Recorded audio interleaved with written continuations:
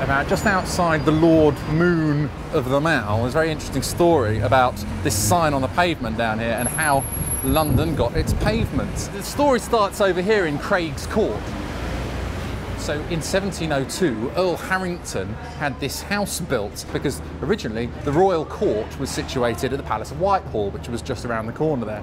And Earl Harrington thought, I know, how can I best suck up to the royal family? I'll have a house built right next door. So one day, the Speaker of the House of Commons was coming to visit Earl Harrington here in his house. And he came down this narrow alleyway and his coach got stuck.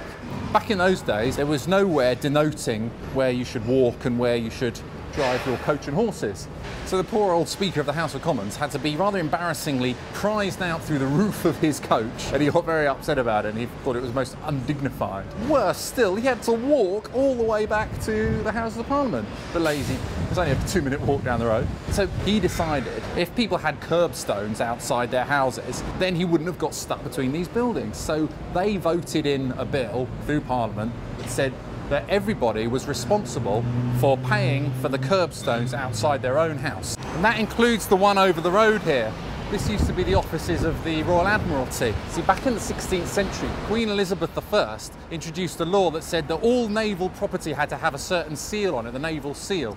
That's why the Royal Admiralty had to stamp their seal onto this curbstone because it was Admiralty property. Yeah, I never knew that. Did you know that? You can't hear me. Don't think I can.